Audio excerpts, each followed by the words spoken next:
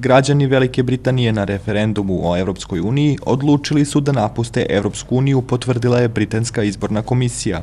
Na referendum je izašlo nešto manje od 72% Britanaca. Za izlazak se izjasnilo preko 15 miliona, dok je svoju budućnost u Evropskoj uniji videlo milion manje. A povodom izlaska Velike Britanije iz Evropske unije stižu reagovanja iz zemalja širom sveta, ali i iz Srbije. Aleksandar Vučić, premijer u tehničkoj vladi Srbije, rekao je da su građani Velike Britanije doneli odluku o izlasku iz Europske unije. On kaže da se svaki narod ponaša u skladu sa svojim interesima i da im Srbija želi najbolje odnose sa zemaljama u Europskoj uniji. On je također rekao i da su na sednici vlade već razgovarali o ovoj temi i da nema sumnje da će Srbije zadržati apsolutnu stabilnost.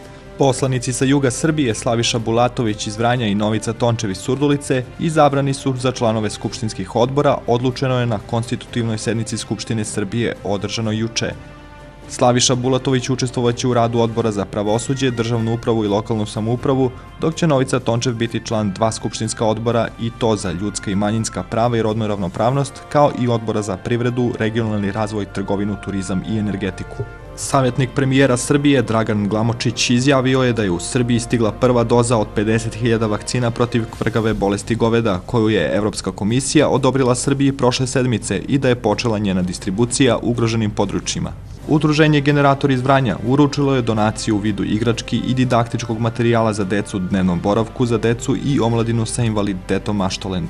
Međunarodni festival Pantomime Phantom Fest počinje danas u 20 časova u sali Doma vojske, kada će biti izvedena predstava Hamlet koju je režirao Trajče Georgijev.